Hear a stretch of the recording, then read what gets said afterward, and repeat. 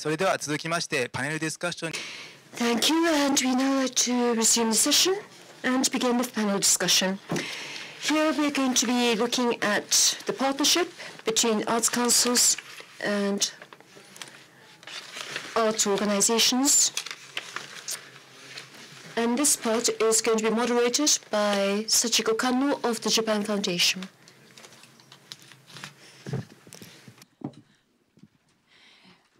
今のご紹介にいただき Thank you very much. I shall be acting as a moderator for this session. My name is Kanno. I think, and also I should mention that I am connected to the Arts Council of Tokyo, and I'm also studying and researching arts policy at graduate school.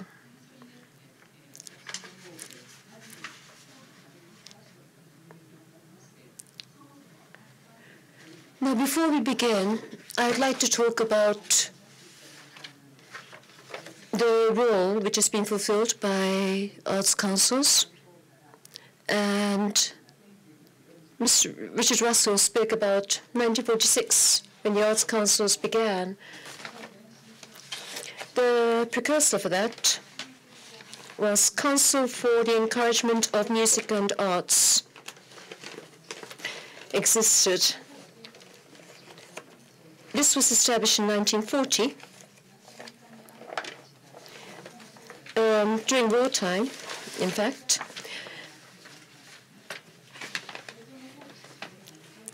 And I'm afraid that um, this is not very easy to see properly, but this photograph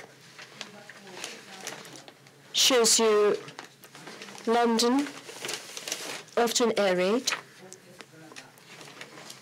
and an orchestra performing where people are sitting on the rubble which has been left after the bombing. So CEMA was an organization which provided entertainment and also enjoyment and pleasure to the people.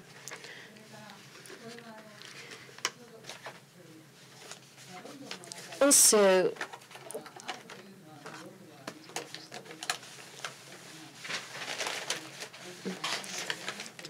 London is the capital, and um, one of the questions which was raised was what sort of network exists between London and the regions? One of the rules of CEMA was to really go out to the regions as a touring company to deliver art to the people.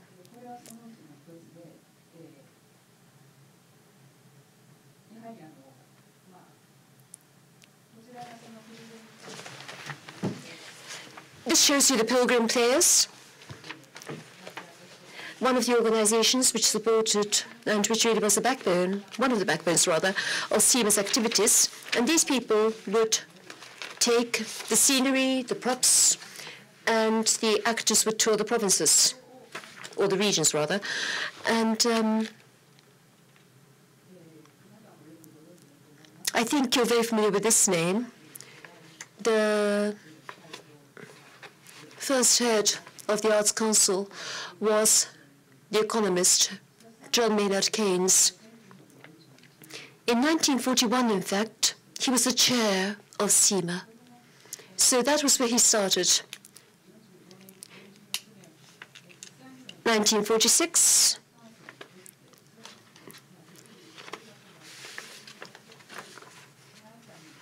Immediately around the time when the Arts Council was um, formally started up, most unfortunately, he became ill and passed away.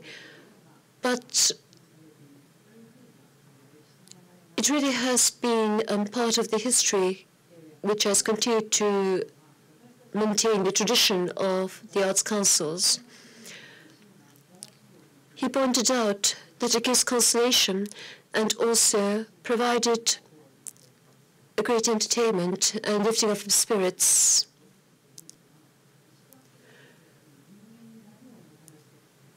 when we were separated from happiness. And you spoke about what gives true consolation and enjoyment to people. So as Mr. Kondo was saying earlier, the role that can be fulfilled, what actually can be delivered by the arts, can actually be seen in this actual quote, where Keynes spoke about how when we are separated from our happiness and when we feel despairing, that CEMA provided marvelous music, theatre, drama, and paintings. So I've provided a sort of a building block or a presentation or an opener, and we're going to be having a number of presentations from the panelists. They will be making individual presentations, and then we are going to be having the panel discussion proper. So next I'd like to call upon Mr. Katayama of the Saison Foundation to talk about the background of this discussion. Mr. Katayama, please.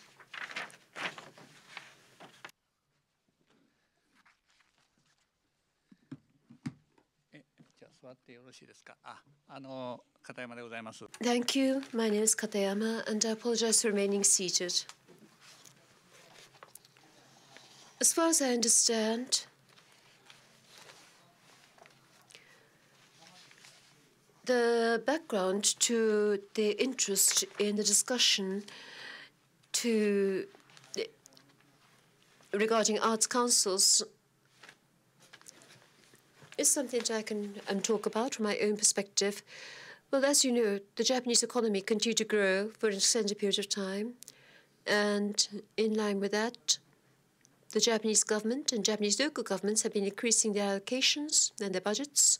However, with low growth, we became aware that there's going to be no overall increase for the tax revenue base. We also saw that our demographic profile was growing very rapidly. We are, in that sense, far ahead of a quite large number of the countries of the world in high percentage of the elderly. We have about 1 trillion yen, 1,000 trillion yen, correction, 1,000 trillion yen in, in the public borrowing. And we can't actually borrow more. And we need to find a more effective way of using our public monies.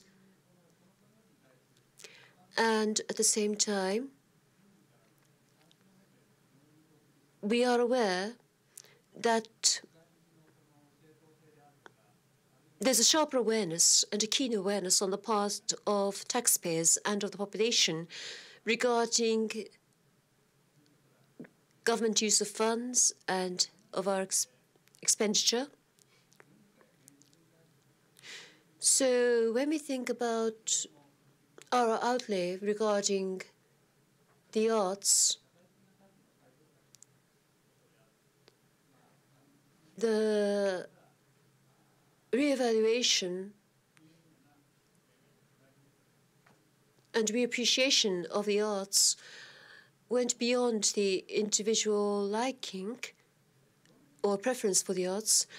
But the issue, of course, was that um, when we try to think about how the funds were to be utilized, we previously had some input from expert perspectives, but when it came to actual gauging of effective means and effective policies, we didn't really see that much contribution coming forward from the experts. Because after all, first, um, as some have pointed out, the actual objective of the policies were not clear cut. Also, funding was provided and there was no follow up.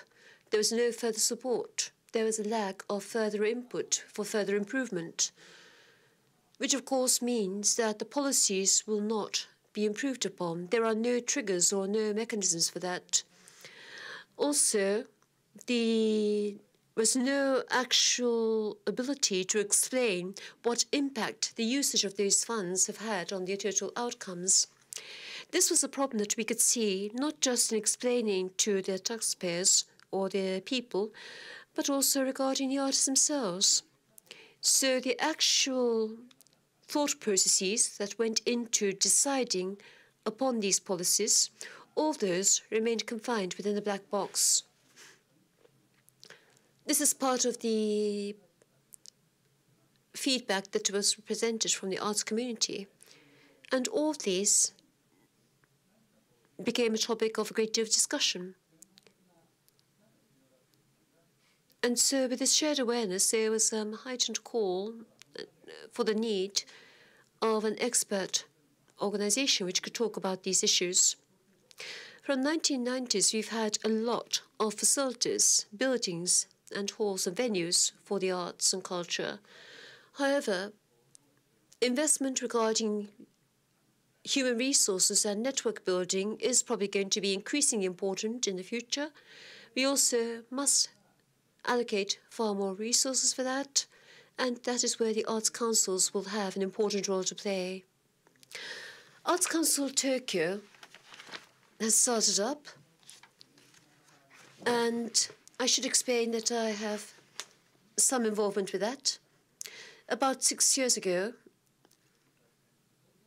if my memory is correct, there was the Tokyo Council for the Arts, which was newly formed at that time, and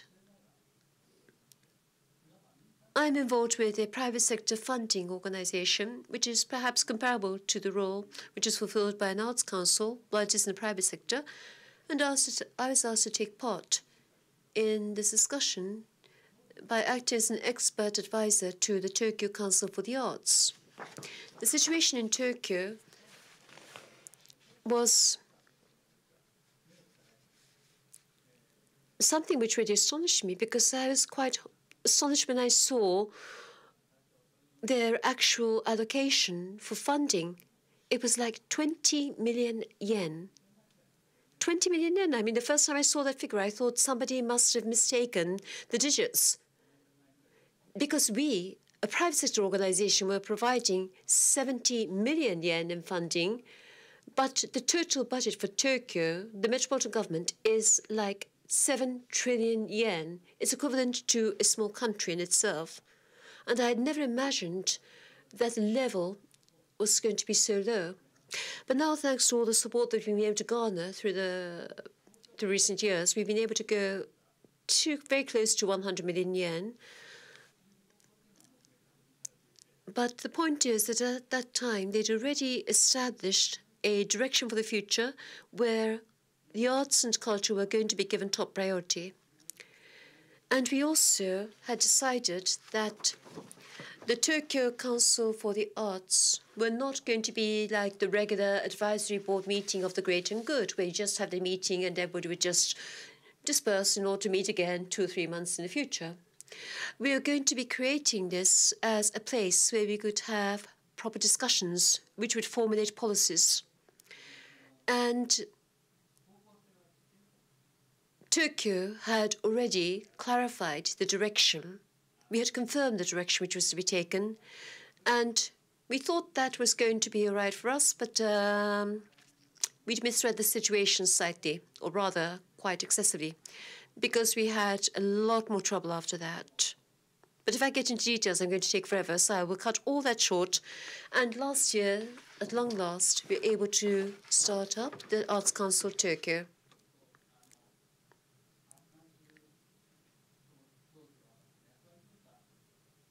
The demarcation between the Metropolitan Government and Arts Council Tokyo is often discussed. Commissioner Kondo mentioned arm's length and um, the implications that that has in the Japanese context.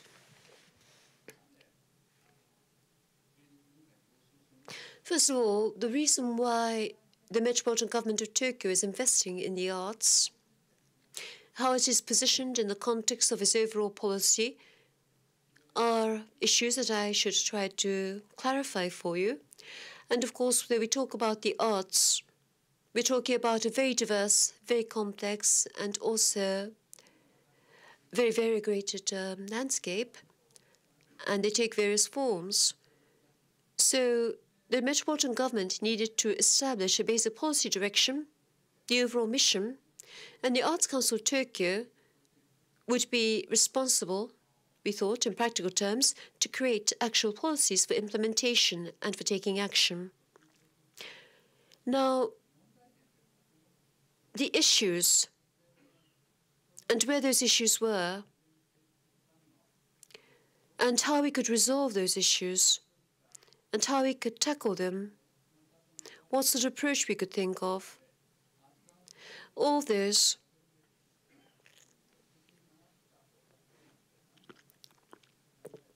and the policies which were in line with the Arts Council Tokyo objectives that would allow us to formulate a creative funding program is what I hope to be able to see come forward from this come out from this organization. What is most important is to understand what is happening in the creative field itself right now. Also, to see what is going on right now. To be able to have that awareness, that perception, and that insight.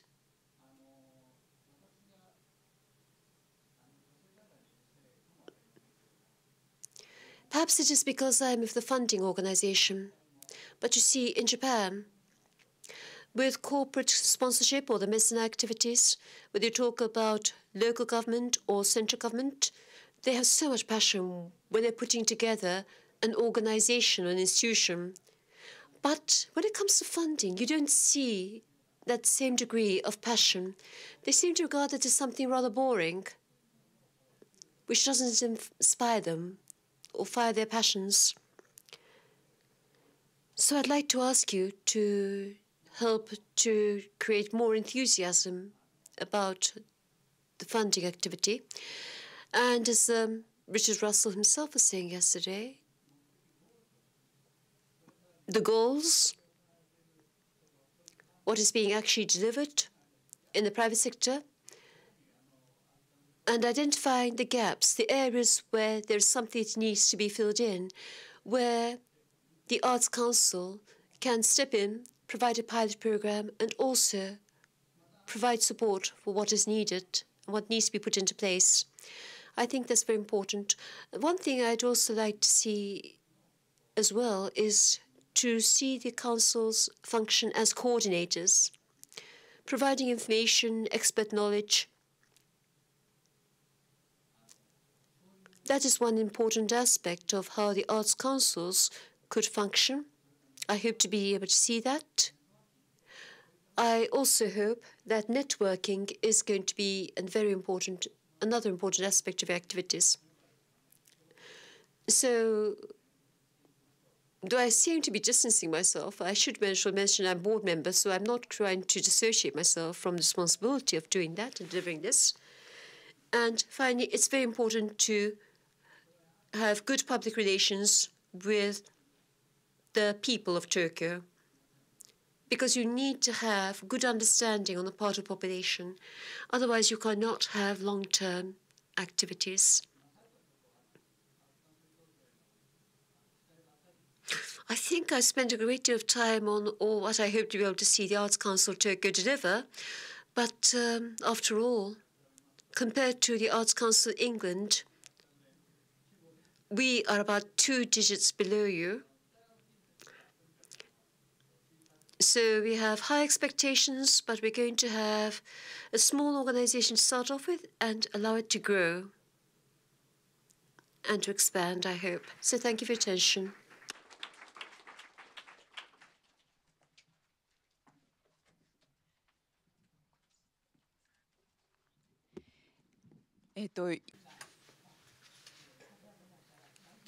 So from Mr. Katayama, Arts Council Tokyo seems to have received so much expectations. I'm sure that there will be more coming. And one of the partner organizations, or actually two in Tokyo, eight, we have Shiomi-san and Nakamura-san from Chiyoda 888. First, Shiomi-san, can you give a presentation on the activities that you conduct?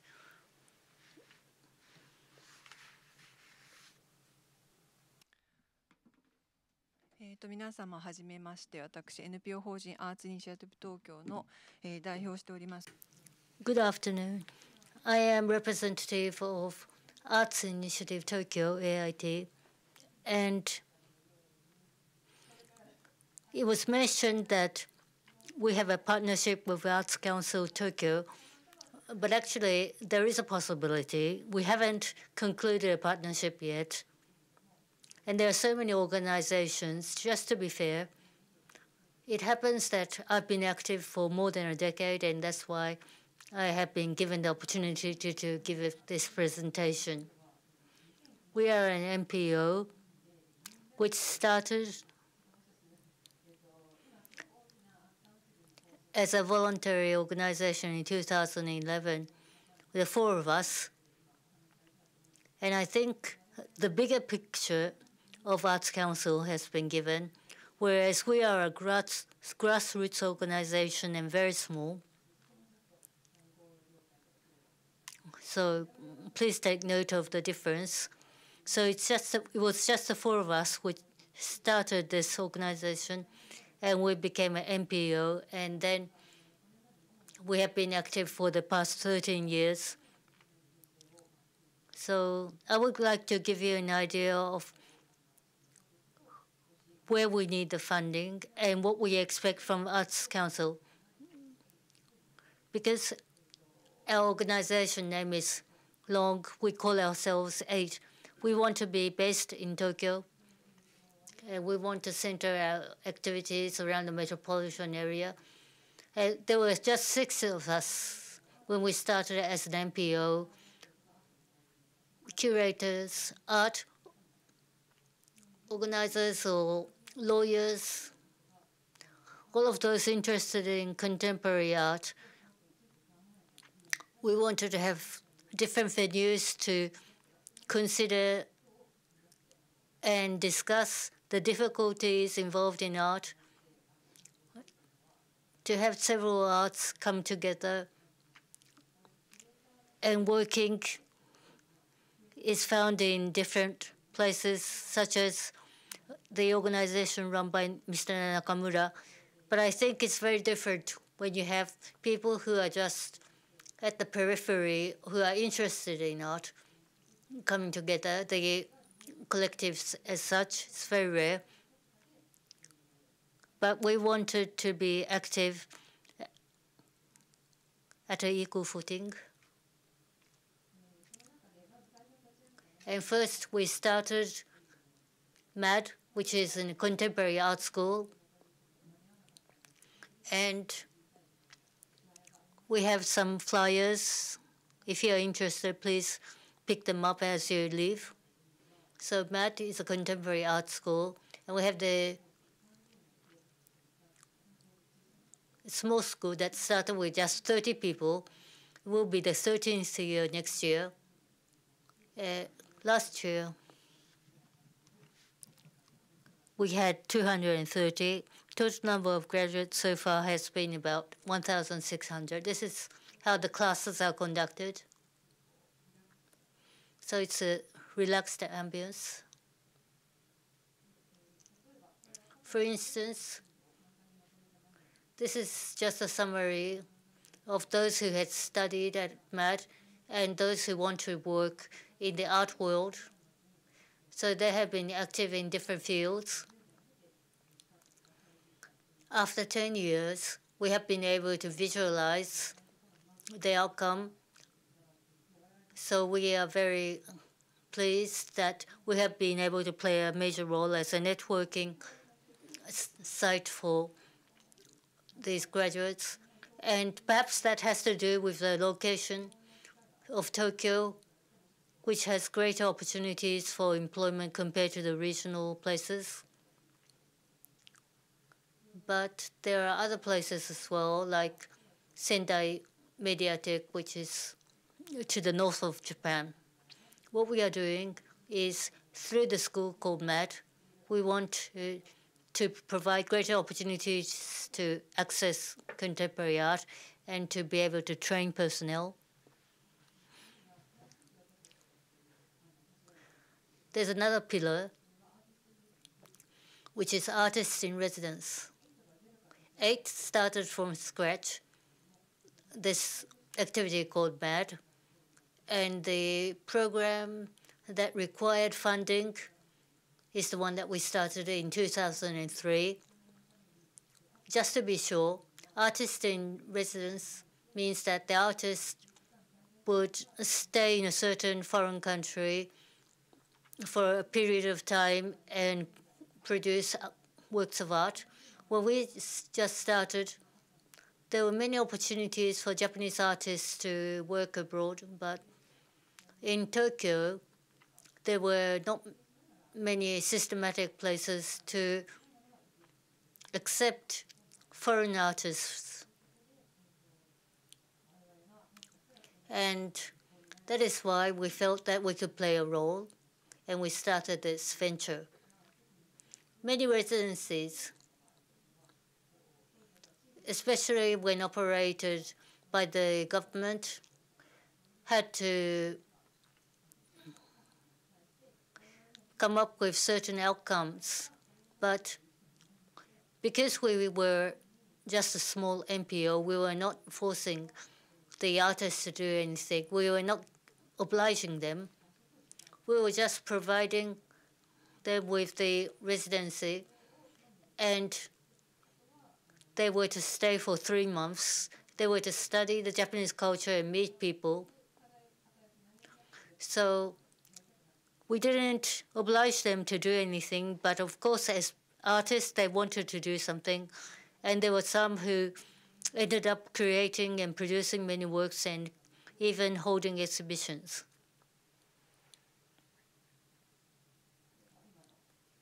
This is the residence. Incidentally,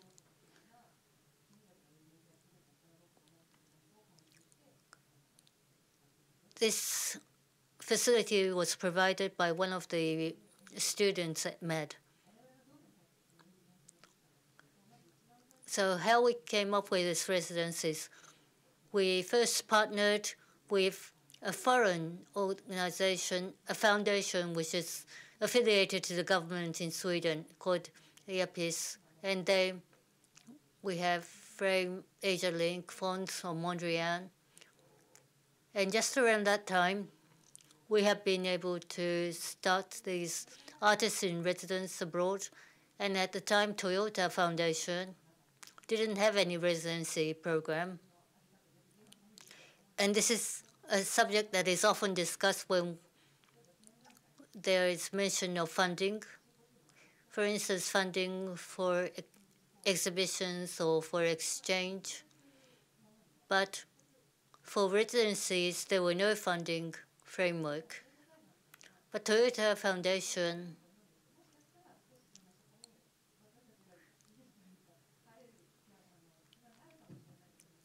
seemed to provide a framework which could be applicable and we talked to them and surprisingly enough they told us that if you want to make this new attempt, then go ahead. So we were provided funding for two years. And even in the second year, they told us usually we only do this for a single year. But if you are so eager to continue, you should do that. But there is no third year. At the time I was told that, I had to start looking for another foundation. And it so happens that it was the Ishibashi Foundation.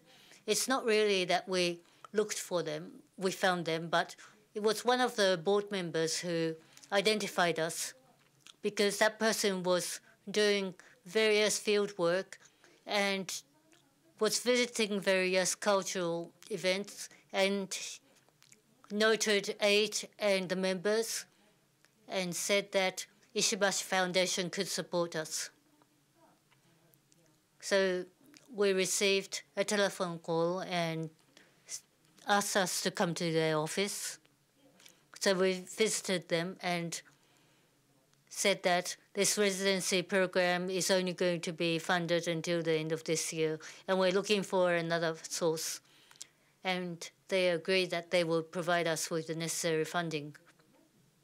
IASPIS frame AsiaLink phones, these are all European. And I think the situation is very different now because of the economy.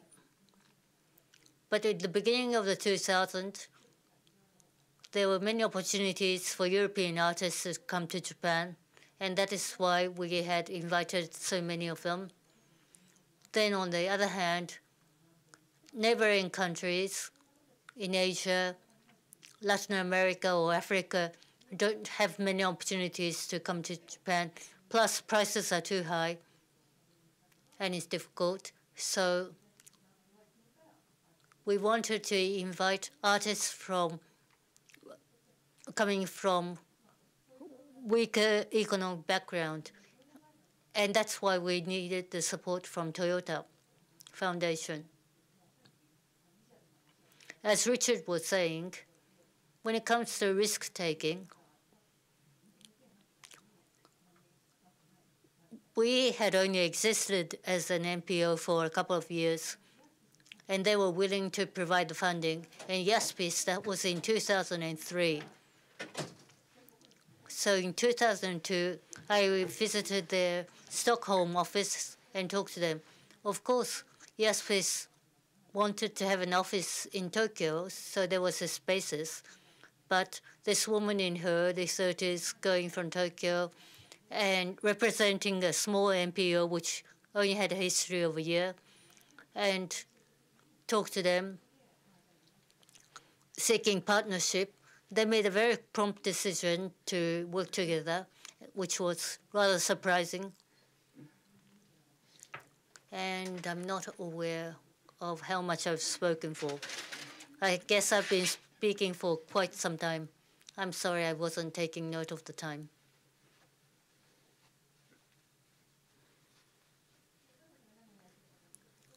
And what we've been doing is presumably filling the gap we started a school because at that time,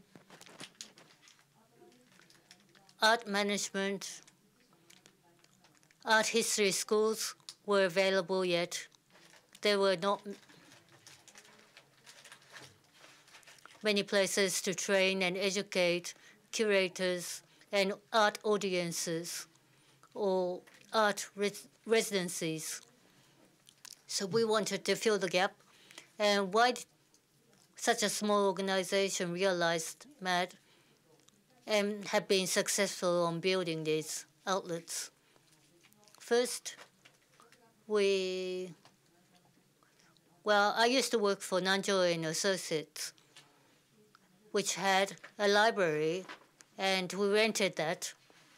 So we started as as an, on an office sharing, and we found some individuals who were willing to provide donations or funding. So that's why I made it to Stockholm. And there were foundations who wanted to work as partners who were flexible and quick. And as Richard's saying, I would like to ask partners to be willing to take risk of course, they cannot bet on everything because it's public financing. So I'm not asking you to take enormous risk, but I hope that, that there will be organizations which are willing to uh, take the risk by identifying the possibilities. And small funds to small groups are very important For instance, just 1 million yen would provide us with the next step, discovering talented people and supporting their career. Of course, the programs can only be created by people. That should not be forget, forgotten. Oftentimes, personnel cost cannot be covered is the response of the funding organization, but we need people to create these programs. So we have to identify them and to be able to provide them with the necessary training or ongoing education. I'm sorry I carried on for too long, but thank you.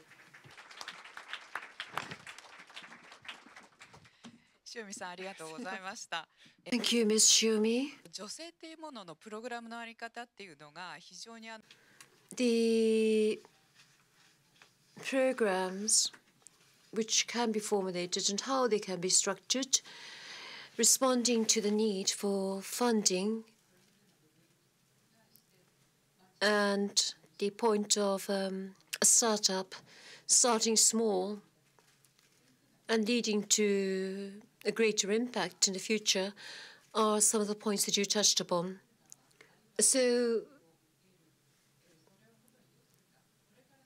I think it's something important to think about as we think about um, funders and receiving funding. I don't want to put them into a comparison almost if they're opposing one another. I think it's really important to focus on building relationships, which I think is also the point which is raised by Richard Russell.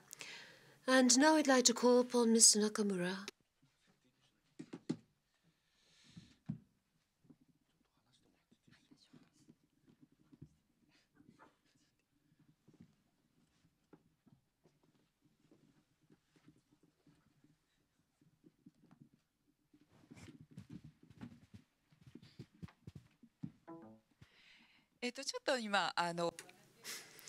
So we're going to just set this up for a moment.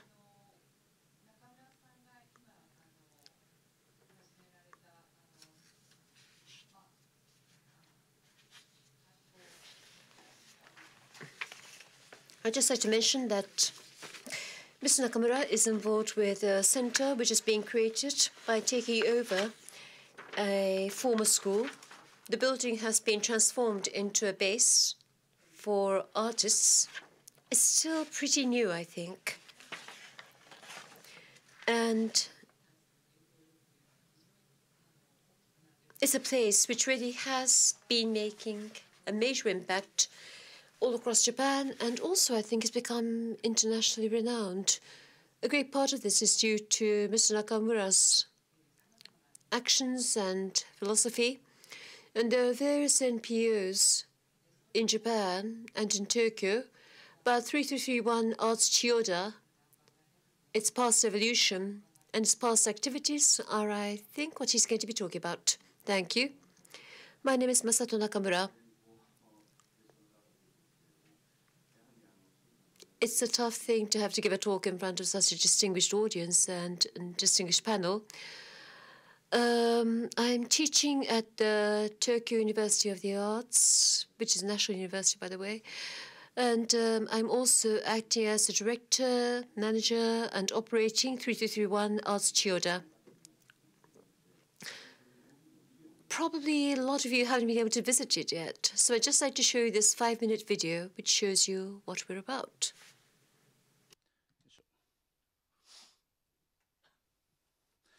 お見苦しい顔ですけれどアーツ千代田の、えー、3331という意味は、え There are English subtitles at the bottom of the frame, so I hope that you'll be able to read them. ー、9になりますね。最後のシャンつまり点を入れると丸という漢字になりますよね。えー9というのは苦しみの苦でありそこにですね丸くなる。つまりこう人たちがつながっていくということです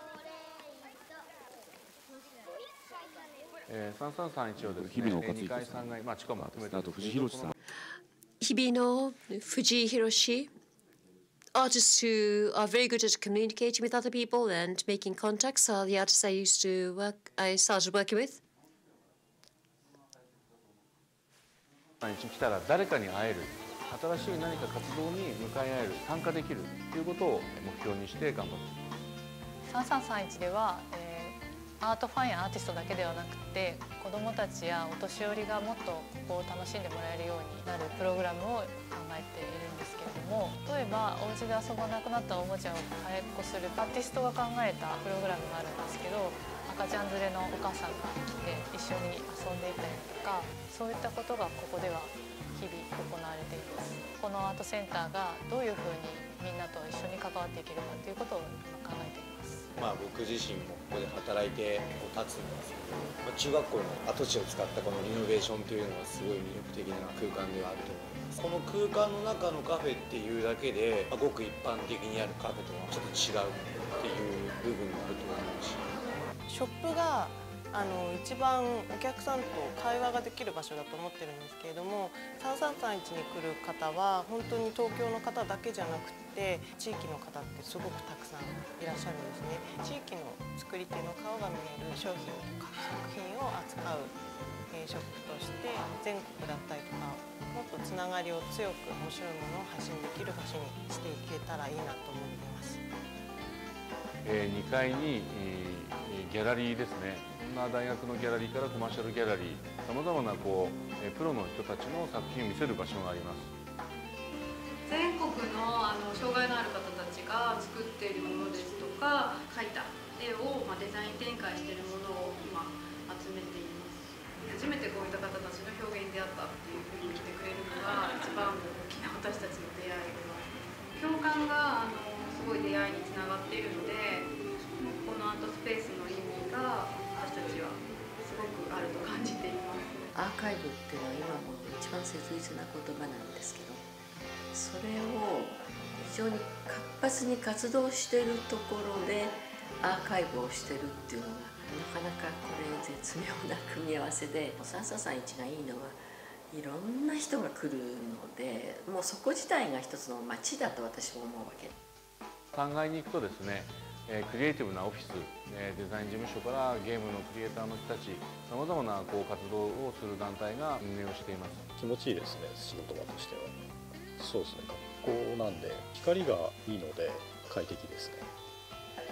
施設案内することよくやってるんですけど大体皆さん驚くのがここも手作りなんです。ここも手作りなんです。すごく驚いていきますね。スタッフに声かけてもらえればキリがないぐらいあるんでそれはお伝えできるかな実際現場で動いてるスタッフ20代30代のスタッフ多いんですけどゼロから自分たちでその場所をどう作り上げていくかっていうことをもう実践でやっていくしかないんですよね。3331っていう建物が単なる箱物の建物ではなくて、まあ、生き物のように、えー、興味を持って来ていただいてるお客さんはクオリティとこの建物の面白さ向上してるんじゃないかなっていう思いますね。主体は僕がデザインしているという考え方は全くないです。そのデザインの流れを作ってデザインにどう人々が関わってい、えー、くかっていうことをあの支援しているし、えー、それがコンテンツにも反映しているしそういう意味でまさにデザインになっているど真ん中でデザインになってる場所だなというふうには思ってますけどね。レクチャーから大きな展覧会も含め約1000の活動が生まれています。一般のお客さんはですね約120万人この場を訪れています。さまざまな活動がこの場から発信されているということです。発信するということにおいて秋葉原であり東京のこの場所に新しいエネルギーが宿ってくると思っています。この場所自体が新しいメディアとなっていろんな活動を誘発し新しい価値をどんどん生み出していく。そのためにアーティストが自ら自分たちの価値をこの場所に宿るように運営をしているということです。はい、えーと So I can't say that's the end of my presentation, can I? As you've just seen with the video, it's in a place called Gokencho in the Sotokanda district. This is a former junior high school. And there was a competition for different bids to renovate, to refurbish this building, and also to provide a proposal about how to use this location and to give it a new lease of life. And in that competition, um, I've been involved with an alternative artist run space called Command N. Um, this provided the basis by having all the artists who are involved in that as to whether they'd be interested in putting up investment or capital to create a new company and not take part in this competition. So five new artists, including myself, took part in that. And up to that point, we had small urban spaces for showing our work. Up to that point, as artists, we were thinking about how we could continue to be pure and true to our principles and to our pursuits.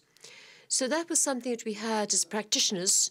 The other point, which really has been very strong, particularly following the March 11 events in 2011, the earthquake, um, has been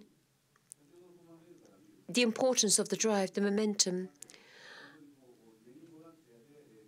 With Command N, it was completely volunteering our services. But now we had 3331 as an opportunity, which I think has allowed us to explore a new level of opportunity and evolution. So it's really exploring the ability to create, supporting the ability, the power to live, and pure and really urgent and immediate means of expression, transforming despair into energy to help to help to promote the evolution into the next stage, the creative process. Going to the disaster hit areas like Ishinomaki, which I did quite recently, I think we're all made aware of the importance of all of us individually taking these issues to mind and also tackling these issues. Now, today we're talking about the funders and the funded. The basic structure is dependent on the people and also the place and funds and the mechanisms and structures which support that. Concerning people and organization, artists on the whole are not self-sufficient. Well, you can't sell your work that often.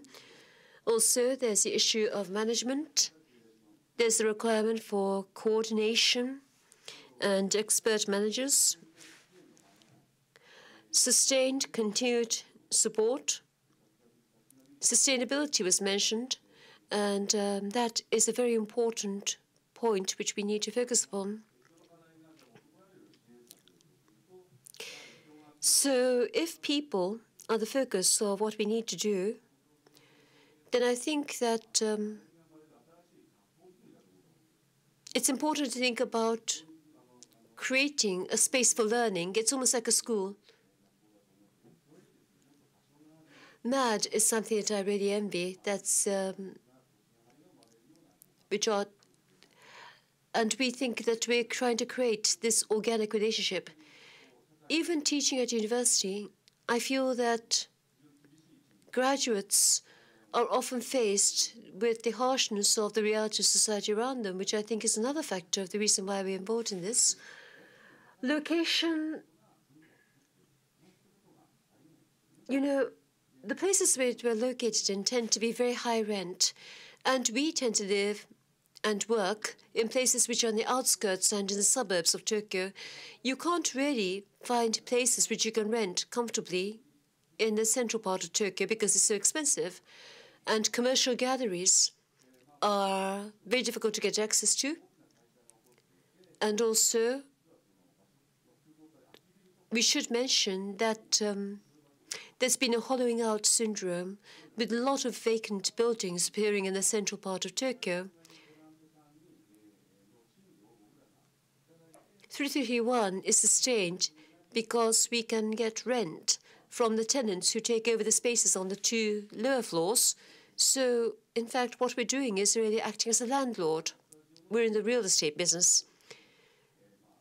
And the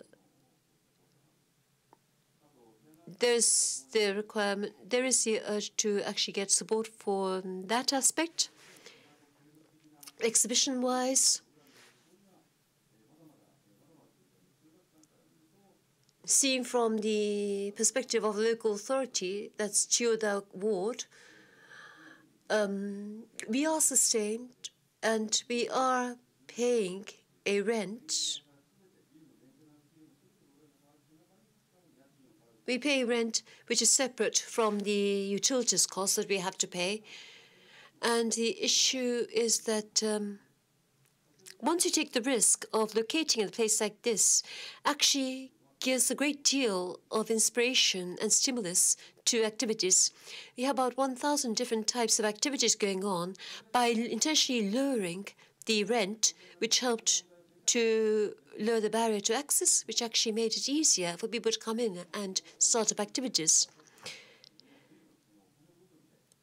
When I took part in the Venice Biennale, I realized that um, the budget was really a crucial issue. Some people are capable of keeping within budget, some people can't. Some people are good at operating within a management structure and are good at uh, managing organizations and systems. Other people aren't that good at it. And of course, there's always the issue of the lack of funds to create work. Also, the difficulty of selling work is another problem. Ever since we had NICAF to the current art fair Tokyo, we have more and more people who are the audience, but I don't think we have that many uh, people who are collecting. So how we can foster collectors is, I think, another important issue. Concept-wise, we're thinking of Trans Arts Tokyo everything needs to transcend. With transcend, trans, by transcending, we can actually begin to understand, and by that we can help to create the possibility of understanding and which will create the attraction of arts and also ultimately of Tokyo. Thank you very much indeed, Mr. Nakamura. So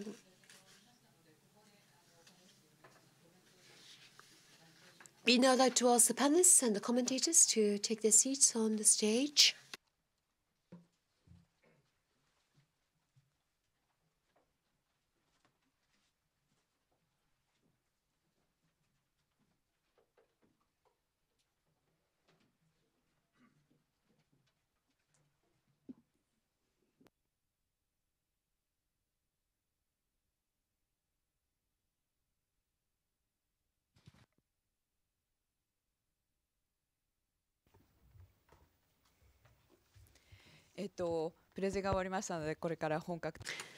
Now we'd like to begin the panel discussion.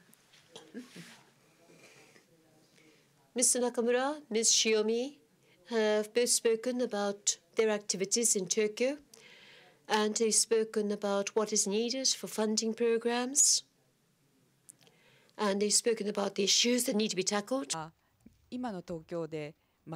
Mr. Nakamura has spoken about Tokyo, operating within Tokyo, the issue relating to the arts markets, funding, getting a budget, what is needed, and all those aspects. And before that, Mr. Katayama spoke about the perspective of a funding organization, also about Tokyo, also what needs to be thought, considered before for the future. We've had quite a number of issues which have been raised for discussion, which I think all of you have been confronting and which you are coming into contact with, and also which you've been thinking about. So a great deal of these issues are probably part of your common shared awareness. And today we are joined by Professor Emeritus of the University of Tokyo, who's a board member of the Tokyo Arts Council, Professor Funabiki. I was wondering if perhaps we could ask him to give us a comment and also ask Mr. Russell to comment. Of course, he hasn't been able to see everything in Tokyo, but he has seen a number of museums, and perhaps he could give us some of his thoughts and his impressions based on what he's seen and also what he's heard about. So, Professor Funabiki first. Thank you. My name is Funabiki. Should I comment on what you've spoken about, or can I share some of my own thoughts with you, or both? Because they're totally different. Or should I just comment right now, and then we get Mr. Russell's comments, and then I give my own opinions, or should I just give it up together? Comments first, please. And then after Mr. Russell, perhaps you could share some of your thoughts.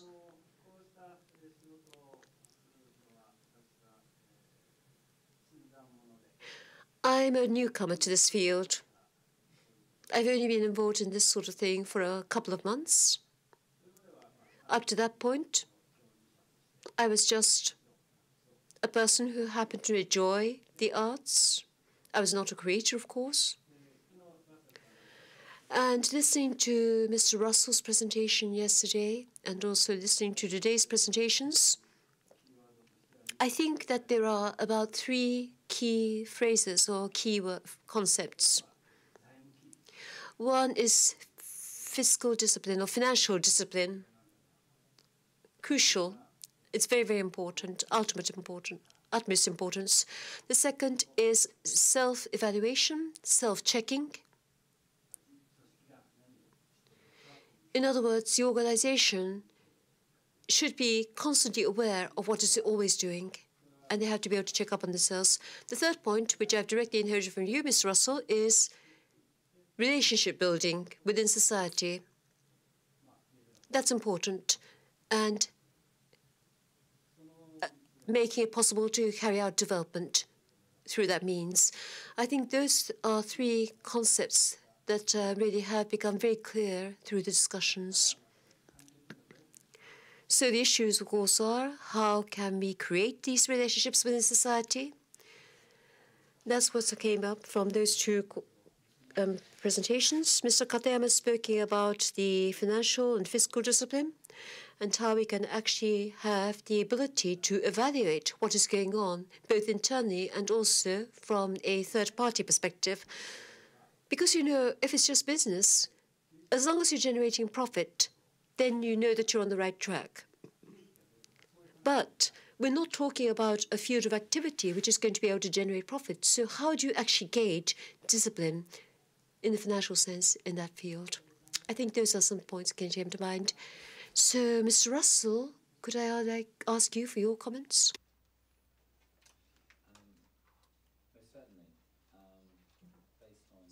Could you use the microphone, please? Based on my um, extensive experience of uh, the cultural sector in Japan after two days, um, um, I think I, would want to um, reflect three points um, in this discussion. The first is around the concept of collaboration, and I was extremely uh, struck by uh, the gathering um, of colleagues yesterday uh, when I understand that um, representatives from uh, more than 20 cities uh, came together for the first time uh, to talk together about um, issues that they were sharing together. Um, it seemed that um, there'd been a lot of um, parallel activity in many of the different cities with a, a shared aim of uh, establishing mechanisms to support arts and culture. Um, but this was the first time, and many people are still here today, that people had had the opportunity to hear about uh, what was going on in different places, to meet each other and to um, think about how they could um, perhaps provide some kind of um, peer support network uh, across Japan. And so I thought that that was um, incredibly important and I really, really hope that um, that kind of collaboration um, can continue because I, I believe that um, nobody wants to uh, face these challenges alone. And um, given there's so much shared uh, ambition, then I'm sure that um, a lot of useful um, support can come between uh, the, the, the people who are working on uh, similar activities across the cities. So um, collaboration seems to be a, a key theme of, of that. the second point is around um, partnership, this um, oft used word, partnership. Um, but here I'm talking about a partnership between um, the artists and the arts organizations, the public and the funding bodies. And I think that many of my uh, colleagues on the panel have also talked about this idea. And I know from my experience in England that unless you get shared understanding of what it is that you're trying to achieve between uh, the creators of work, the consumers of uh, the arts, and the funders of the arts, then uh, it's going to be difficult to be able to continue to operate the system. So I think that that kind of partnership between the different players uh, in the in the system are really really important. Uh, and my third comment is around uh, outcomes and objectives, um, which is um, boiling down to what is it that we're trying to achieve here, and to be uh, as clear as we can be with ourselves about what we're trying to do, uh, and then the means of uh, how we're going to do it will flow from that. So don't put the mechanism first. Work out what it is that you're trying to do first, and then design the mechanism around that. These are my thoughts. ありがとうございます。 Thank you. And um, I think you're absolutely right. When we talk about the arts councils, Japan is very much a latecomer to the scene. Looking at the Scandinavian countries and also countries around Asia, they already have the systems up and running. The Commonwealth, the UK, are examples of where there's been involvement with arts councils for quite a while, and where the arts councils are actual means of supporting and sustaining the arts. So, in that sense, Japan is a country has a great deal of diversity and also a great deal of history and tradition in terms of the arts. But um, art has so much riches. It wasn't able to develop a system or a mechanism for supporting that. Or perhaps we simply didn't need or felt that we had the need to create such a mechanism or system. But recently, I think there's been this um, emerging shared awareness that there might be a need for such a system or a mechanism. So that perhaps is where we can have some input from Professor Funabiki. I'll try to keep it short. I'll try. First of all, I had to thank you, Mr. Russell. Thank you so much. So much marvelous, so many marvelous thoughts that have come from you from yesterday. Also, the British Council allowed me to study in the UK. And I was able to go to King's College, Cambridge, where Keynes studied. And I stayed in the Keynes building. So there's a personal um, implication. Also, I was able to see. Oh, I was able to see the Royal Ballet and also opera at Covent Garden, where Miyako Yoshida and Tetsuya Kumakawa were very, very active. So I think I'm the end product and the outcome of the UK cultural policies. Whenever I think about the arts and culture, well, in the terms of um, nature, I think we're all aware of the importance of thinking about the ecology. We're all aware of how something can influence something else. It's probably true for culture as well. Looking back at the 18th century and 19th century, you had the genius creating masterworks, and you just sit back and look at it in awe. That tended to be the attitude that we had for the arts. But in fact, the fact that we are alive and the value that we have by virtue of being alive is artistic in itself. So art has value because it is alive. And perhaps we should look at the arts and culture as a certain type of ecosystem. If we no longer can catch eel, we can no longer have Japanese eel, perhaps the government could provide us with a subsidy, like theatre tickets. So if we're eating Japanese style eel, in all seriousness, we're going to be losing a number of important aspects of Japanese culture because they're famous Japanese comic monologues, which are part of our traditional performing arts.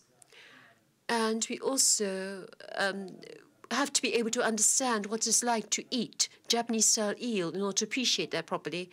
Japanese style eel has also been an important uh, element in many different art forms. So if we lose that food item, we are going to be losing an important part of our heritage. when we think about the culture of the Edo era. So, in all seriousness, it's only appropriate that there should be funding and subsidies for eating um, Japanese style eel. But if we expand the field too much, then I think it's going to get things make things rather complicated. So I'd like to think about high culture and pop culture.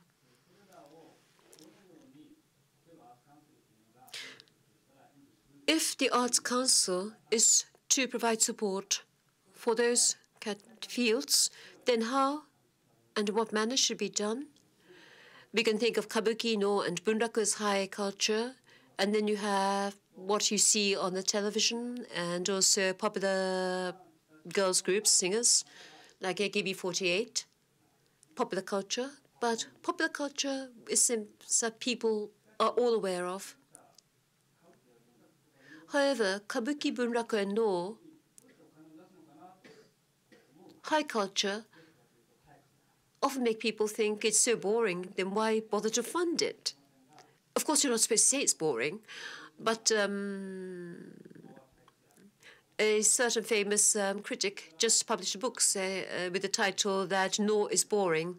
And the former governor of Osaka Prefecture, who became mayor of Osaka City, said Bunraku puppet theater is like deadly boring. And he said that because he was very, very honest. Kabuki, all those traditional performing arts are only interesting when you actually understand the background. So the mayor's response was something which is really honest and very direct. How many people have actually seen Bunraku? I'm not going to ask you that question, but I know that not many people have actually seen Bunraku because you need to have the background or to appreciate it properly. So we have to start off by explaining the rationale which allows us to justify the subsidy which is offered to those performing arts. Noh is boring, Bunraku is boring, and so is Kabuki. But Kabuki which is an important element of Tokyo, doesn't need to be subsidies because they actually generate a profit. And it's quite hair-raising when you look about look at that, which I'm going to uh, tell you, Mr. Russell, so look properly horrified, I hope. Take notes, because then you can horrify everybody when you go back to the UK. I know this is going to be news to most people here from Japan. Kabuki Bunraku and Noh have all been designated as part of the intangible cultural heritage on the UNESCO list. But they're all generating profits, they're industries themselves. Kabuki is supported by a certain private sector corporation called Shochiku. And you can say that Kabuki is made possible because of Shochiku. Shochiku is rebuilding the Kabuki theater here in Tokyo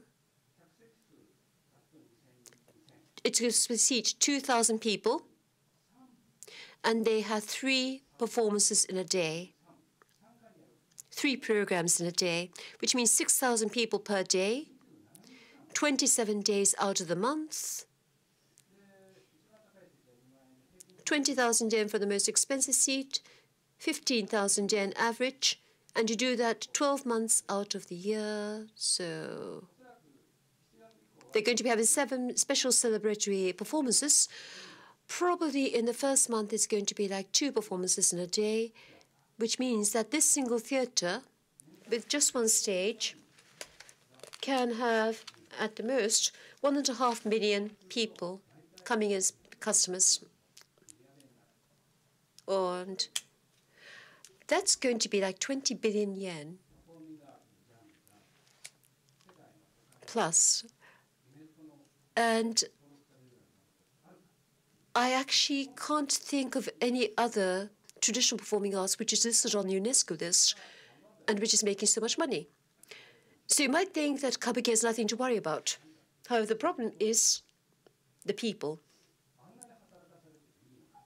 Is it all right for them to be forced to work so hard? I assume that in Paris and in London, the people who work on props would never put up with something like that. I mean, 27 days out of the month, no holidays. And it's for the entire year. You're probably looking quite quizzical, and you're probably not quite believing what I'm saying, but that's reality for the Kabuki productions. And recently, as you know, two relatively young kabuki actors have died, and uh, this is um, something which is a very real intermediate problem. Of course, it's not something that the Arts Council is going to be influencing directly, but thinking about the total backdrop of cultural policy, having a certain private sector company really keeping these actors in this art form working round the clock practically and throughout the year is something that we need to think about. And I am looking forward to the reopening of the Kabukiza Theatre with so much anticipation. But at the same time, while I'm a great fan, I really wonder why they have to do that. On the other hand, pop culture is too entertaining, which is why people assume there's no need to provide them with subsidies or with funding. Just leave it to the market. That's one response. But again, there's something rather peculiar happening because you see, those things are regarded as being of less importance. There might be people who are making a lot of money, but a lot of people at the same time are working for peppercorn wages. We thought that manga could be left to its own devices, Japanese comics. But at the same time, there have been people who started thinking it actually might be exportable. There's a certain ministry called the Ministry for International Trade and Economy who started getting involved in that field. But you know, it's like the stock market. Once people who've never dabbled in stock market get involved, then you know it's dangerous. So once the ministry, which is in charge of trade and industry, gets involved with a certain industry, you know it's beyond its peak. This sort of thing happens to be quite true. And you should really become aware of that before you actually get involved. Perhaps we should be able to be more perceptive and to become aware of the fact that a lot of people are making it possible to support a certain industry because they are putting up with very bad working conditions and low wages. We also have to be aware of the difficulties that we actually are emerging because the signals. Just creating a school is not going to respond to the requirements. A lot of people who are outstanding cartoon artists actually honed their skills during arithmetic class when they were doing doodles in their mathematics textbooks arithmetic textbooks. That really made them outstanding artists. Practically all of the manga artists who are any good actually did that. They trained themselves during um, other classes. The greatest outcome of the 20th century, perhaps um, of the UK, the Beatles. I mean, they didn't go to music school. They weren't supported. They weren't subs subsidized. They're people who came from Liverpool and they started up in a corner of Liverpool, and they probably became the most represented brand representing UK. But just creating a special course which allow people to study the Beatles isn't going to allow you to create the second coming of the Beatles, whatever. So the issue is how does the Art Council become involved, if it does at all, with pop culture and popular culture? That's another important issue. You know, when we think about the arts, we tend to think about high culture. Popular culture is regarded as something which is of a lower degree, lesser degree of importance. We put this hierarchy in place. So how do we explain this relationship and how do we explain this engagement is important. So the question is, how do you do that at Arts Council England? Funding for Covent Garden is something that I'm aware of. It's been the focus of debate, and I do understand that low ticket prices, providing greater accessibility, all those are measures to put in place. At the same time, there are going to, people are going to say, why do people have to subsidize um, something as boring as high culture? And why do people have to become in something as, um, well, common as popular culture? I think those are two extreme examples, perhaps, but um, I would like to raise these issues for consideration. So, Richard, I would guess that the UK has gone through those issues, tackled those debates. The creative industry is another way to express popular culture, I think. Um, perhaps you could talk about those issues, how you've overcome those debates. Um, what's your take on those aspects? Um, I actually think it's a very uh, topical issue. Uh, it's not. It's not um, something that we've uh, solved.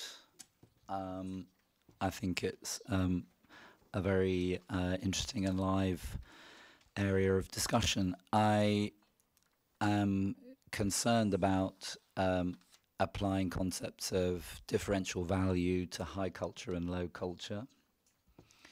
Um, but I understand that the way that the state intervenes and funds certain activities by implication therefore confirms confers some kind of value. So um, I think we need to look at the whole system, not just the publicly funded elements of the system, to understand what is available to the public to engage with, to uh, create, to um, consume. Um, and I'm personally involved in um, a range of research activities which is intending to understand the relative um, perceptions of value connected to different forms of practice, um, whether you term them as high culture or low culture or however you describe them. So I don't have any um, solutions, but I, um, I, I suppose I warn against um, uh, putting things into too firm boxes um, because I think that um, the best form of um, uh, support for the arts recognises um, all kinds of practice. Um, and I'll give you one example of how we are doing that at Arts Council England in relation to um, what you might term so-called popular music. Um, so we identified that um, whilst there is a large demand, of course, for um, contemporary popular music, rock music, um, uh, other other forms of music that uh, many people uh, engage with, there's a real problem in terms of the uh, the talent pipeline that supplies um, the opportunity for up and coming um, bands or artists to break through. And the reason for that is that the commercial music industry has quite a stranglehold on that talent pipeline. Uh, so it will support and enable um, some artists to make a lot of money, but actually a lot of um, young bands, young artists uh, can't get through because um, they're just not on the list. So we decided to um, try and uh, do something about that by uh, really giving uh, a wider range of uh, young bands, young artists, um, more exposure to uh, to touring, to um, being able to um, get their work more recognised. Uh, and of course, these days you don't need a record deal to do that because anybody can put music out on the internet. But it's how it's reached as an audience is the thing. Um, so we're just starting a, a program of support that that will recognise um, that we want to diversify the talent pool to give more more people uh, an opportunity, uh, and hopefully, what that will do is it will encourage the commercial music industry to open up its doors a bit more. Because the problem with um, the private sector is is that um, it will follow the money, but it won't necessarily take the risks. Um, so we've talked about risk taking today, and uh, the public sector, the public funding, uh, has um, the opportunity and um, I would say the remit to um, facilitate risk taking in the arts, to open up opportunities that aren't otherwise there. And that can and should happen whatever the form of art that you're talking about, high culture or low culture.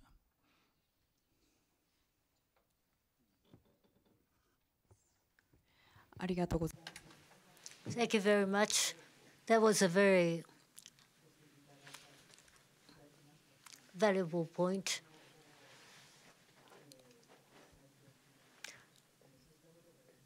The experiences in the UK have been clarified.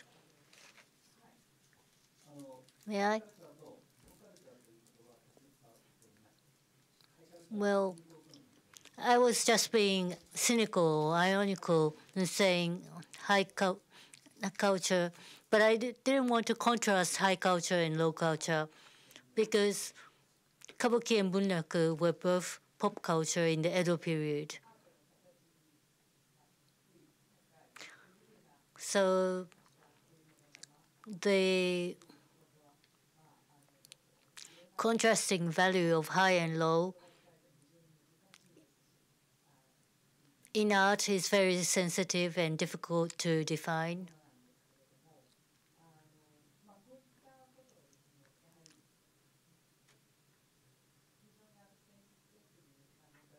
This is a very sensitive issue.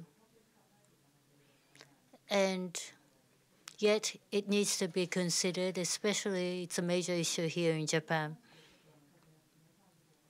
So I would like to invite your comments on this point. And Mr. Richard was referring to risk taken. Ms. Shiomi pointed this out in her presentation, and Mr. Nakamura as well, that young artists, when they are still in the emerging phase, how do you support them? There could be various grants and support mechanism, but they don't have any accomplishments or achievements. So how do you assess them or evaluate them? We tend to focus on their achievements and accomplishments, their track record. So without that, how do you do that? So starting with Mr. Katayama, please.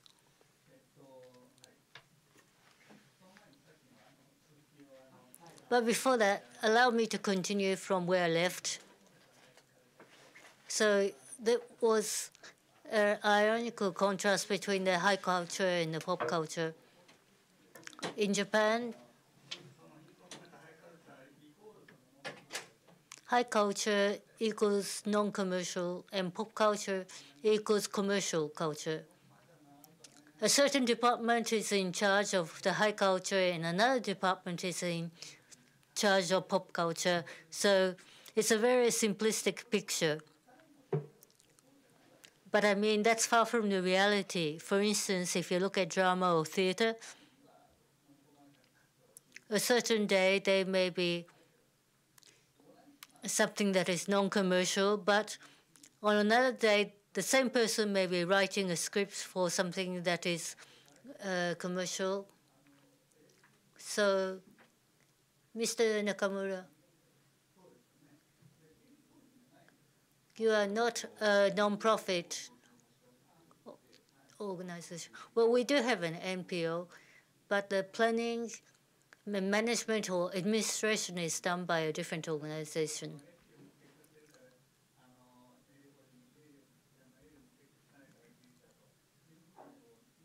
And it's very difficult to distinguish the for-profit and non-profit organizations.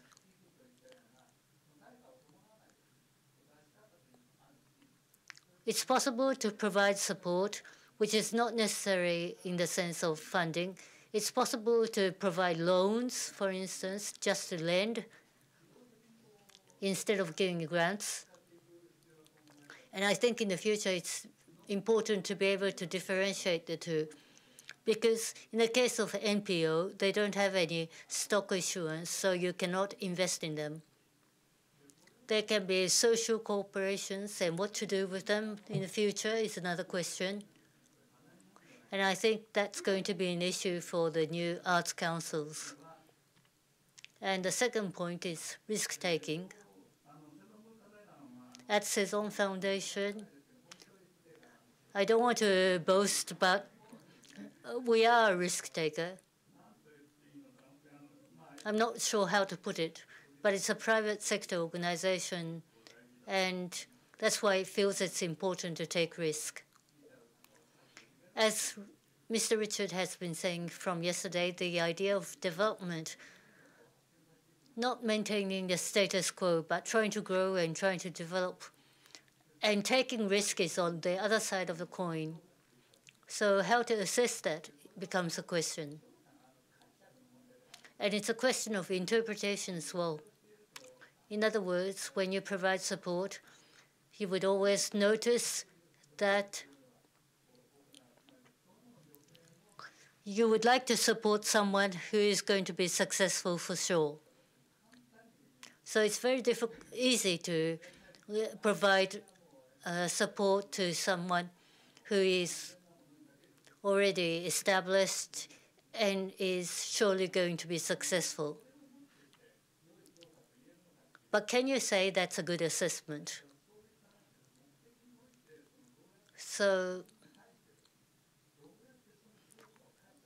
How are you going to interpret the assessment against the goal that you have is also very important. Because I don't think that point is seen as being important by the central government. I think there can be something like a sound failure or mistake that is still sound.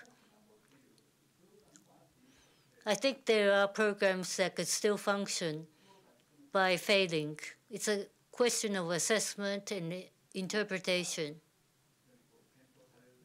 that should be considered as well. Thank you.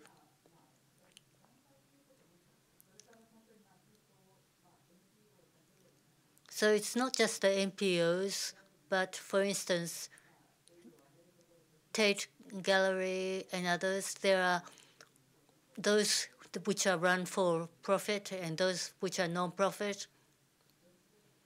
So in providing support, you have to think about what are the programs required for that particular community or society.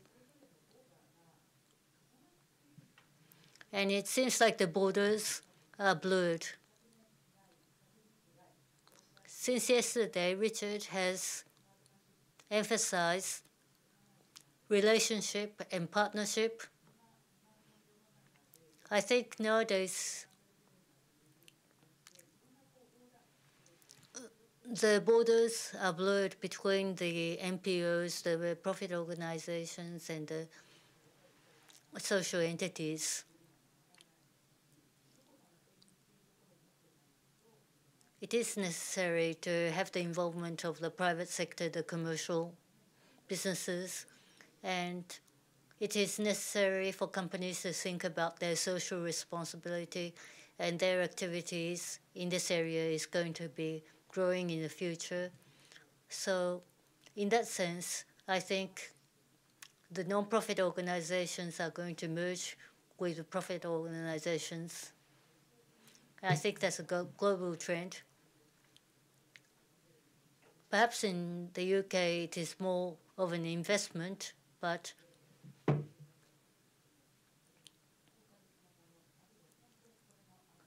is it possible to identify uh, grants that could be required for these for-profit organizations? Or maybe the goals have changed, the purpose of providing the grants might have changed. And we are discussing the Arts Council's role in the future. So we are a latecomer and we can come up with new programs, learning from the past. And I hope that these discussions, these ideas will emerge from the discussions that we are having. So, Mr. Nakamura and Ms. Shiomi, would you like to comment?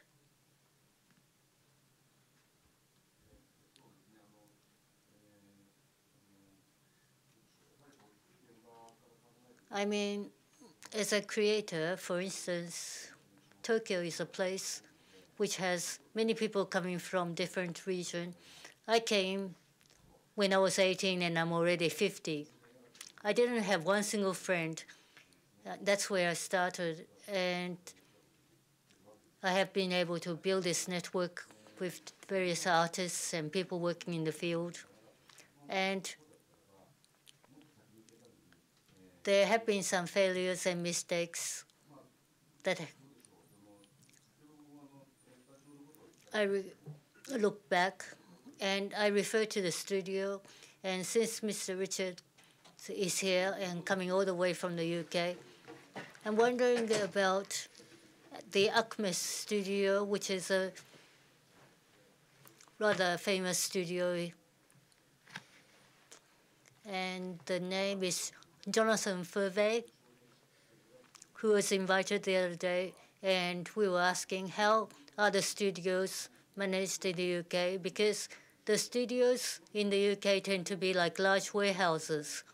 And just by visiting that place, you feel a sense of enthusiasm and was wondering who was building this. So the Acme studio was built by former artists, and the Arts Council was providing the grants. So the point is, the rent should be at a level that is affordable for the artists, which is very sensitive and yet is very important. You're not going to provide everything for free. You have to have a sense of how much it would cost to rent this particular location. And it is necessary to be able to provide the support that could make up for the difference, and that allowed Acme Studio to grow. And most artists have gone through that path. So, in that sense, when you try to create culture, the production site should be in place, even if you have the venue for the presentation or the show, you won't be able to reach that goal if you are not able to uh, produce. Uh, perhaps it should start at the early phase because you're still young and you want to go to Tokyo and do something, but you cannot even afford to rent a place is a problem. So we're going to create it you're going to do it at the university, it's not allowed. You have to have permission, but you're only allowed to stay until 8 o'clock. And the university is closed for one third of the year, and you can't use the facility during that place. So it is a very major problem that you don't have the studio to create your work. And at the Acme studio, the setting was in a way that the artists could afford the rent. So if you can give a little bit more of a background of the Acme studio and how they succeeded.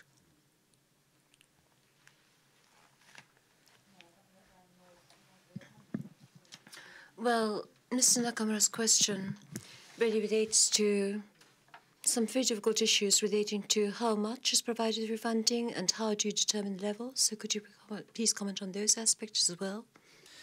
Um, I'm, I can not give um, uh, any specific details about the background of that particular organisation, um, unfortunately, but I, I'd, I'd say some more general comments about the um, the way in which um, uh, artist studios um, form an important part of a community, and I would say that in the last 20 or 30 years in the UK, um, this has been seen as a key part of uh, what we would call artist led regeneration or cultural regeneration, where artists are seen as an important part of the community. When we talk about regeneration, we talk about making things better for people. and what we're saying is that artists are people too. It's a fairly simple argument, really, um, but we need to provide um, the opportunity for them to have decent uh, space in which they can create their work.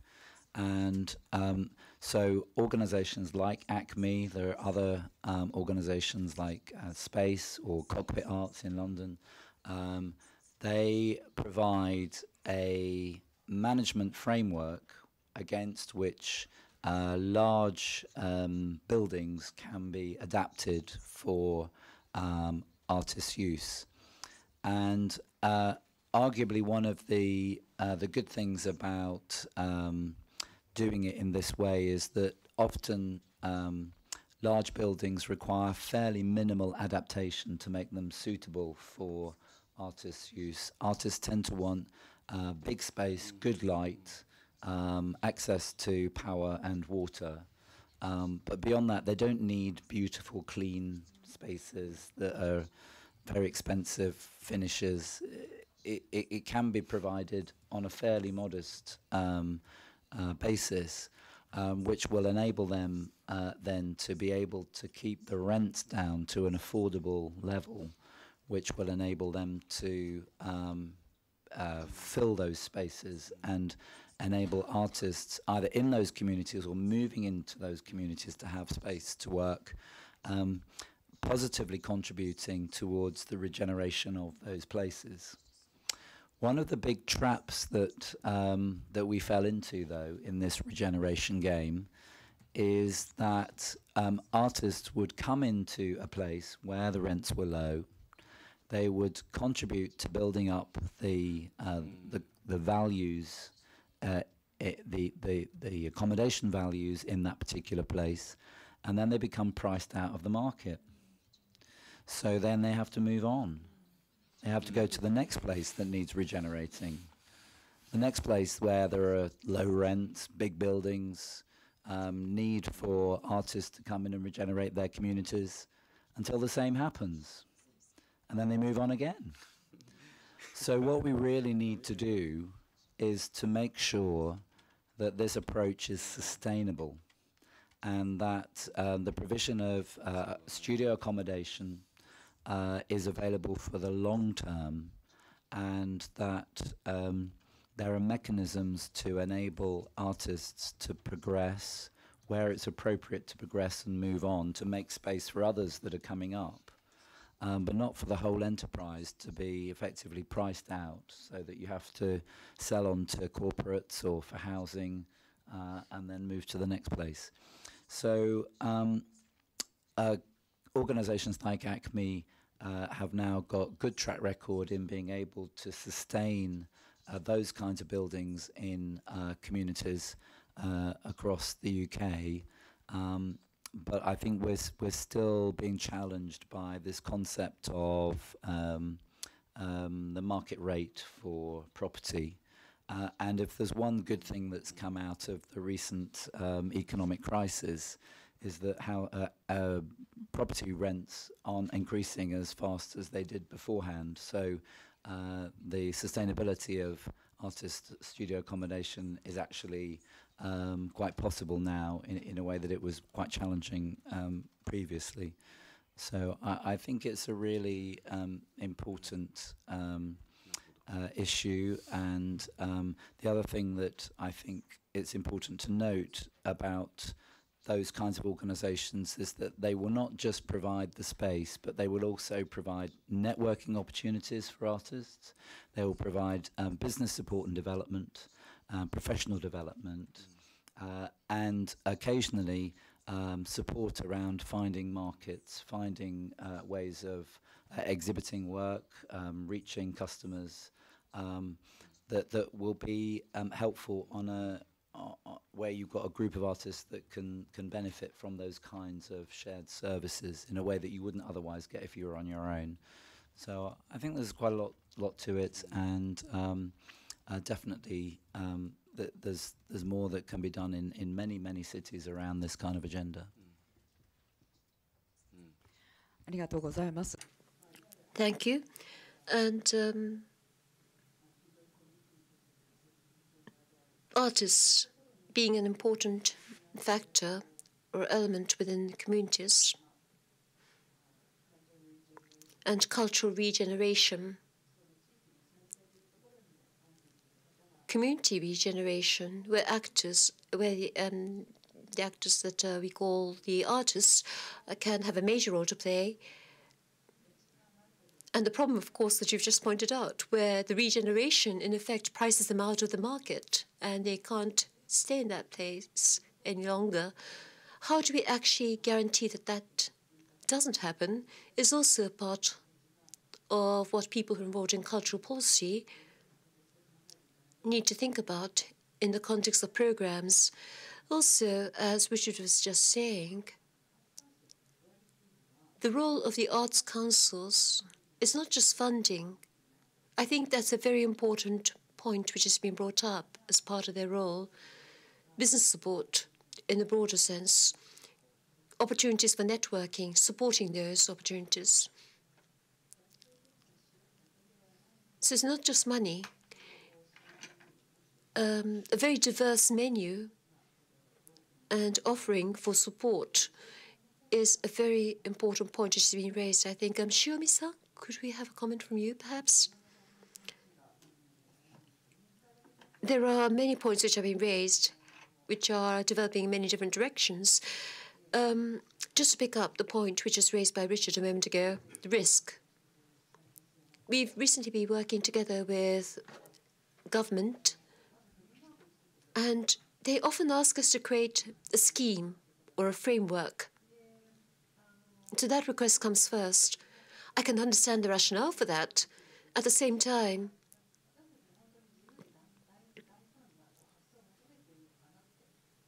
we start questioning whether they are really asking us to be free thinking and also to think out of the box, to be bold. I think the can do approach and just trying to see what happens by getting things done and moving is also important. So, if we want to become a truly mature country, just talking about the framework and about the structure getting those limits in place isn't really what we should be focusing on first of all. I think what is also important is to get many people involved and to start working with this um, concept of the arts councils. Also, something where we can make a difference perhaps is respect for art, respect for artists, increasing number of people who have that approach people who think that artists are important for Tokyo who can advocate for that position in their own words is what AIT would be like to be involved with. We just heard about the lack of studios because um, it's really something which is so urgent, so real. Artists, I think, are really not doing this because it's something they do to kill time. It's something where they are really sacrificing a great part of themselves which also links to outcomes which we can be truly proud of. It really reflects upon ourselves ultimately. And you spoke about the goals and um, praise and appreciation for artists, I think. That can be interpreted as respect for the artist. I think that's one of our goals and what we'd like to continue to pursue. Thank you.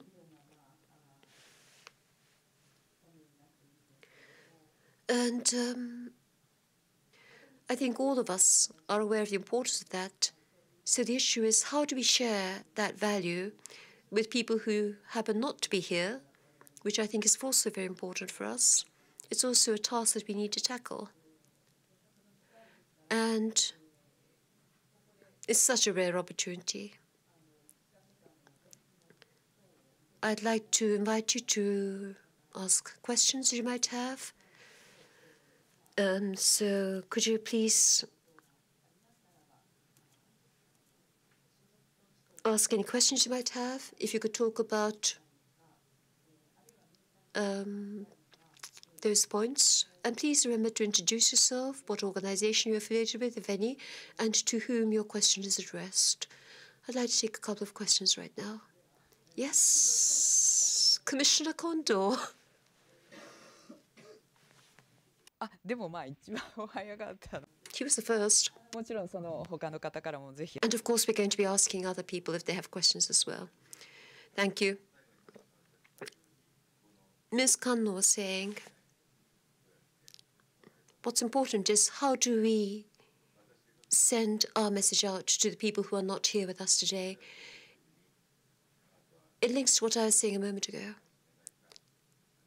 How can we be effective in communicating to people who think that art isn't really that much use, who aren't persuaded about that? How can we convince them about this? With greater understanding, I think it's going to help us to get their support for taking risks.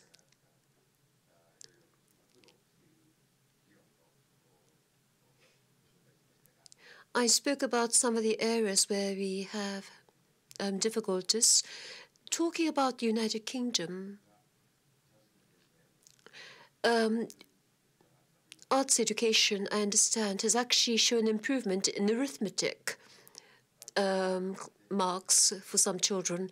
It's very difficult to find the evidence for that, where the arts can actually have a positive impact on school marks and school records. I was wondering if there are actual examples or any hints about how we can help to persu- uh, how we can persuade people who aren't convinced yet. So how do we go about converting people? So, Mr. Russell, if you could just introduce a few examples or creative partnerships, which I think was part of what the UK was doing, connected with education. Uh, so we want to be able to convince um, people who aren't here um, the importance of arts and culture, and how do we do that? Um, uh, I think there are there are two ways. Uh, one is about um, experience and belief, and one is about evidence. And this is something to do with which side of the brain you use. Are you a right side brain or a left side brain person? So, will you be persuaded by uh, the emotional experience that you have and the belief that it's important for you and your family and your community? Or are you the kind of person that will be persuaded by the evidence, by the facts? Um, and uh, our approach in in uh, in the UK um, is that we use both of these methods because people respond differently to um, experience and evidence. Um, so, um, on the experience front, we do quite a lot of um, taking people to see things, um, to experience things. We will take government ministers, we will take civil servants, we will take uh, important people, uh, and we will introduce them to um, artists and arts organizations, we will have them experience the thing that we're trying to talk about. And usually, introducing somebody to the art and the artist and the experience is much more powerful than talking about it. We can talk about it till the cows come home, but actually, until you experience it for yourself and the emotional response that you have, uh, you, you may not get it. So, um, that's one way in which we do it. Um, the evidence route is uh, also very important and complementary, of course, because we want to be able to, where we can, produce evidence that tells us about the impact of the work that um, that we do.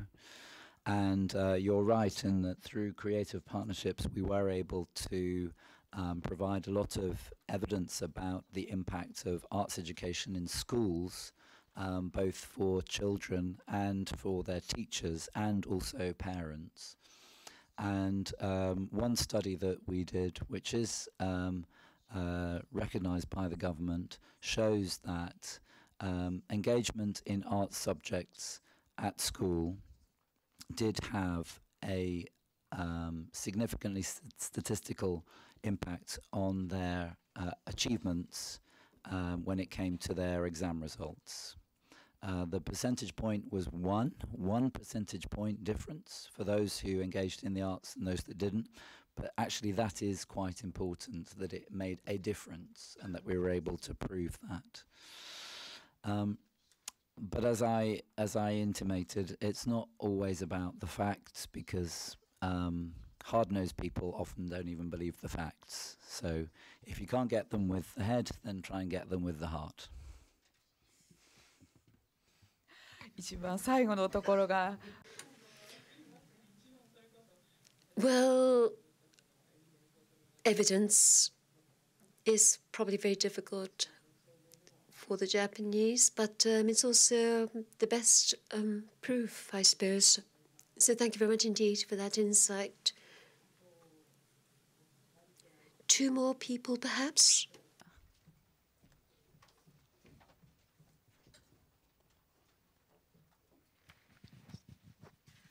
えっとこんにちは。あの My name is Ichichi Muse Company, and I'm the Secretary General of an NPO, non-profit organization. The East Midland Arts Council is a place where I did some research about the funding system, and I was very, very envious of them. The arts councils, in addition to funding, have other roles. But um, I was very happy to see the Arts Council established here in Tokyo.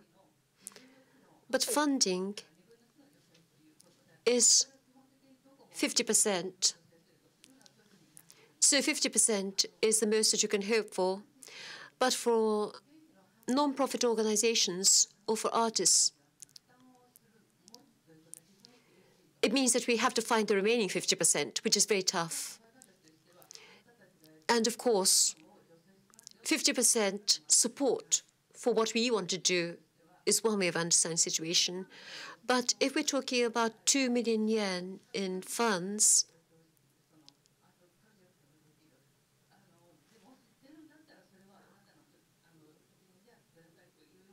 if we could use all of that for an arts project, then we would really, really find it helpful, as long as we take the risk. Um, Mr. Nakamura's points about possible ways of funding artist studios and other ways of understanding how funding can be utilized open up possibilities for the future, I think. So for non-profit organizations involved in the arts, how much funding we can obtain really has an impact on how much we can bring and how much we can get from the actual involvement. So integration for these organizations perhaps would really help us to find a way to create a system which would make it easier for artists and for arts organizations to get benefits and to find um, benefits out of this involvement. It's not really a question, it's just a hope that we can see meetings, opportunities to discuss these options or ideas. Saison Foundation is perhaps the only organization which provides the sort of funding that I've been just talking about, um, where they provide backing for the organization itself.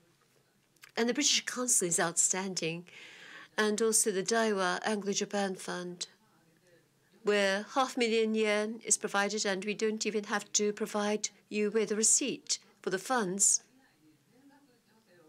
And they give us the money in full within 14 days, or rather, that's the system that is in place. I felt so envious and I just hope that we can find a way to think of a system which is going to be as easy to use as possible for the funded organizations. So that's a request for the future. I think that was very much in nature of a proposal. And uh, Mr. Katayama, board members, and the people with the Arts Council who've just started up their activities are going to be thinking about how we can actually put this system into action. I should mention that the UK has more than 60 years of experience. That's what has created the system that we have in front of us today It's not something which can be done overnight.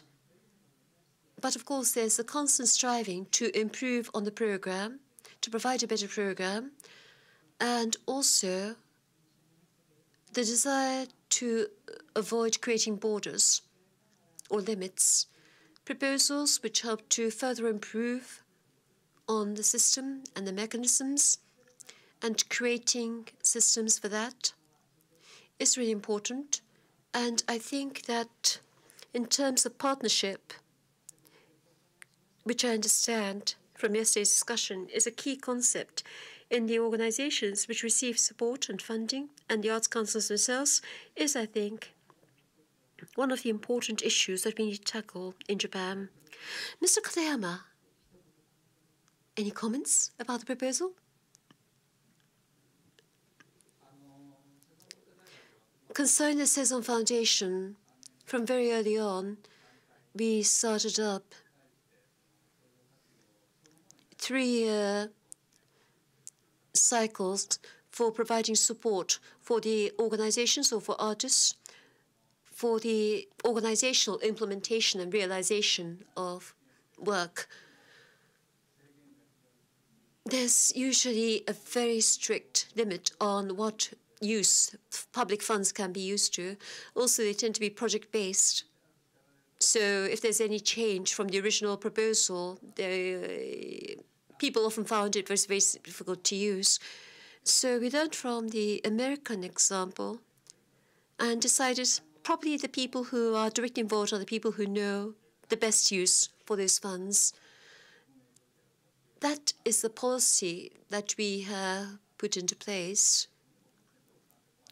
And the Agency for Cultural Affairs, I think, has really come very close to that philosophy. And Arts Council Tokyo, as far as I can sense out right now, by autumn is probably going to be exploring new directions, I think. So watch this space. Look forward to news bulletins. Um, I know that you still want to discuss these issues, and there are so many other points which you'd like to consider.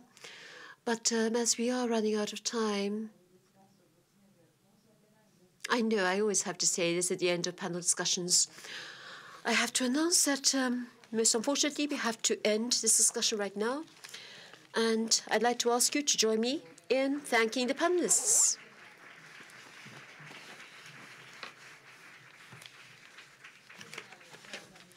Our very special thanks, of course, go to Richard Russell, who's seen so much and experienced so much, and who has considered to respond in so much detail to our questions. Thank you so much.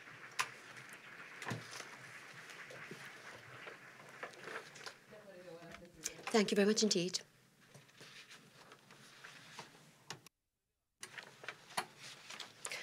So, ladies and gentlemen, thank you very much indeed for joining us.